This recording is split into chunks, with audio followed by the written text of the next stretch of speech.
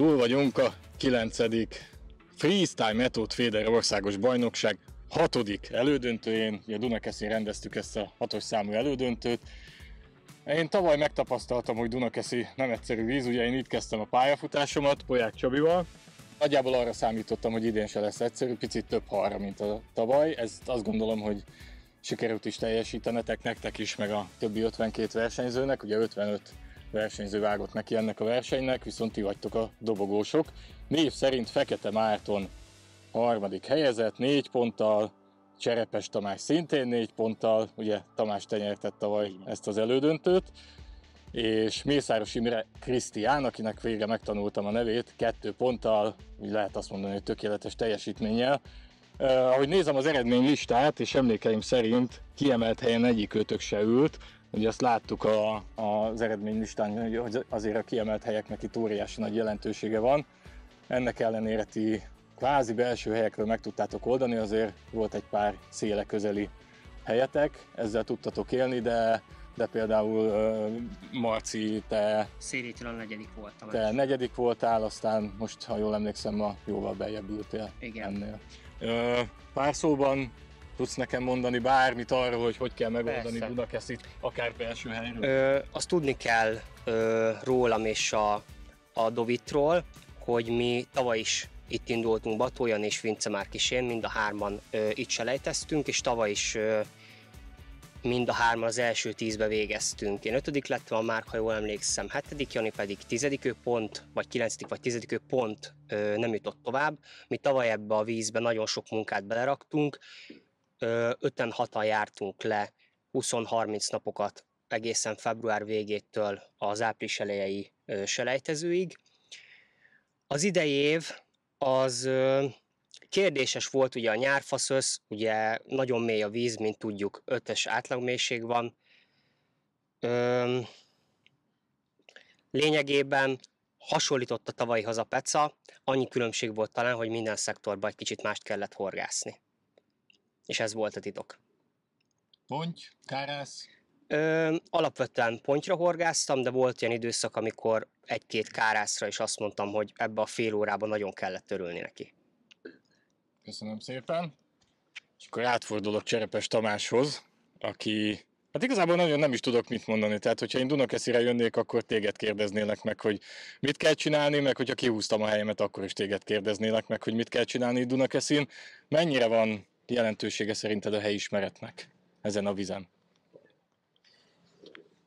Alapvetően én azt gondolom, hogy minden vizen van, de, de sokkal inkább azon múlott, hogy itt az utolsó héten mennyire sikerült a felkészülés, mert csak a magam példájából kiindulva vallattuk a vizet rengeteg napot januártól kezdve, amit igazándiból a versenyhetén ki lehetett dobni a kukába. Uh, teljesen változott a víz, és ahogy Marci is elmondta az elején, minden szektor más és más volt. Teljesen más halfaunára is ö, horgáztunk, mert még az E meg az A szektor inkább, inkább a, a pontyos, főleg belső nagy pontyokkal ö, volt tarkítva, addig a középső szektorokban nagyon-nagyon kellettek azok a bónuszkálászok, és, és gyakorlatilag bárminek a megfogása, aminek uszonya van. Igazándiból szerintem itt, itt itt azok az emberek tudtak tovább jutni, akik, akik becsülettel fölkészültek ebből a, a vízből, és nem mellesleg volt egy ehhez szükséges sorsolásuk, mert ezt semmilyen vízen nem szabad elfelejteni. Köszönöm szépen, és akkor Imréhez fordulnék, aki ugye két ponttal, mint említettem, megnyerte ezt a, az elődöntőt. Igazából téged nem is a helyről, meg a felkészülésről kérdeznélek, ha két pontot gyűjtöttél két nap alatt, ennél kevesebbet nem igazán lehet összegyűjteni. Mi volt a peca lényege? Hogyan horgáztál? Egyik nap, másik nap kellett-e belenyúlni a pecába? Kellett-e valamit változtatni? Szerintem ez nem csak engem érdekel, hanem másokat is. Hát az első napom az nagyon-nagyon jól indult.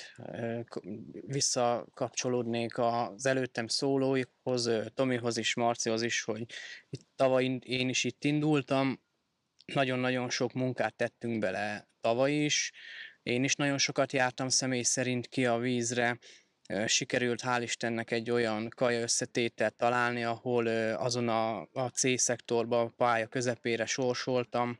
Tegnapi napon ugye nem szélső helyen ültem, hanem belső helyen, viszonylag jól indult a horgászatom, első három dobásra sikerült is három pontyot fognom, és a kötelező edzésnapot azt viszont rászántam egy rövidtávú horgászatra, mivel én nem nagyon szerettem eddig ezt az ilyen kukorica jellegű rövidtávú horgászatot, és hát benne volt a pakliba, hogy lesz egy olyan sorsolás, hogy bekerülök arra a részre, ahol sekély a víz és a rövid távú pecát kell erőltetni.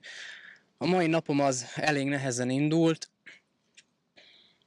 az első két órában nem is volt halam, nem nagyon voltam ott fejben, majd egy köztes távon találtam egy mérős halat, és utána egy kicsit összeszedtem magam fejben, és úgy gondoltam, hogy erőltetni fogom a rövid távot, mert láttam több jóféle halfordulást is, hogy ott vannak, és, és addig-addig variáltam, még rájöttem, hogy mi kell nekik, és meg, meg tudtam fogni a majdnem egy kivételével az összes hal, halat, ami jött. Köszönöm szépen. Én is ezt láttam egyébként így járva kelve köztetek, hogy a helyes távolságválasztás, a helyes váltás nagyon-nagyon fontos volt az, hogy milyen technikával, milyen etetéssel horgáztok ez mind-mind nagyon fontos volt, meg hát az is, hogy minden egyes halat megfogjatok, bár volt, akinek ma egész szép fogás gyűlt össze, még a nagy hal se hiányzott a szektor elsőséghez.